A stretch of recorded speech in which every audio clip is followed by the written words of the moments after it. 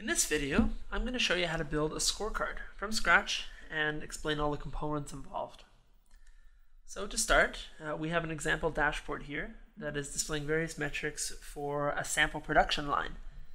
Uh, I want to draw your attention to the visualization in the bottom right. Uh, this is a scorecard, basically a repeating set of elements.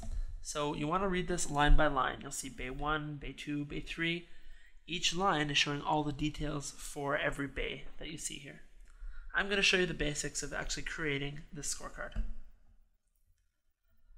So to do that, uh, you want to go to the home screen of Dundas BI and click on New Scorecard.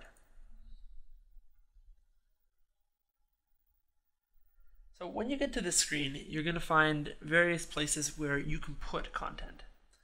So most importantly, I want to draw your attention to this now highlighted section at the top. This is your repeater content. So any field that you drop into here, this will instruct the scorecard about how to repeat your data. So let's get started. Let's find our data connector. And I'm going to open the view that's showing me all my equipment effectiveness.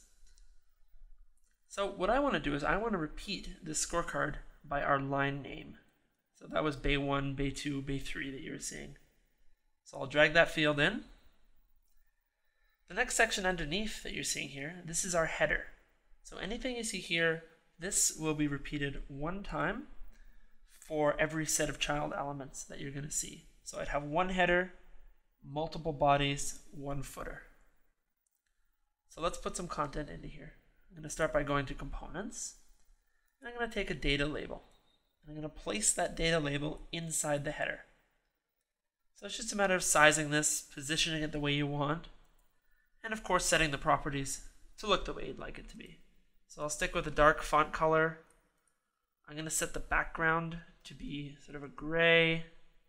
Actually, with a gray, let's go with a lighter font color. And I'm going to make this header quite a bit smaller.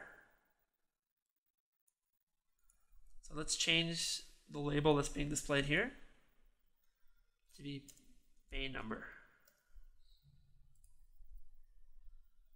Next thing I need to do is actually add some body content to this. So going back to my data, let's take line name again and then drop it into the body.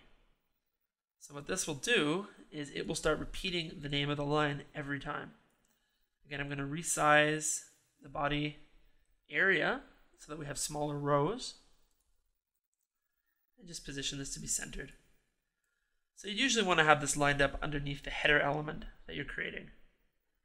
You'll see now when I hit view, it's going to render the scorecard, which in this case is showing every bay that we wanted to see. So essentially with the scorecard, as long as you understand the repeating element and how to use the basic aspects of the dashboard, there's not much difference here from building a dashboard or building a scorecard. So let's put a chart in here. I'm going to create a downtime chart, so downtime, and I want to see that by date. So instead of taking just a standard SQL date, let's take a hierarchy, and let's show downtime by something small, maybe by month. We'll add that into our rows section. And then we'll take our metric and drag it into the body. Just position that beside the first element that we created. And of course, revisualize this now to an area chart. Now, since we're creating a cell that's so small, I'm going to actually remove the labels on the left and the bottom of the chart. So to do that, again, click on Properties. And these are your standard chart properties that you would see. I'm going to open up the bottom axis and deselect visible. You'll see that removed all the labels from the bottom. And I'm going to do that with the left axis as well.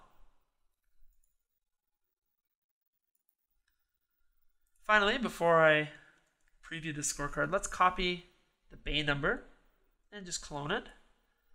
And I'm just going to resize this second header element that I'm building. Change the text, and we'll just call this downtime. See now when I hit preview, I'm repeating both the chart and all the different bay numbers that you'd want to see. So it just so happens that in my case, the data is the same for every bay, but it would be separating each one of these out into you know, their own data that you would see. The last area that you'd want to pay attention to, of course, is the footer. In my case, I've left the footer out because I don't really need a total. But just using data labels and potentially charts, you could very well create a footer that has a total here if you wanted to, or any other content. It really is up to you. And as you can see, that's really all it takes to build a scorecard.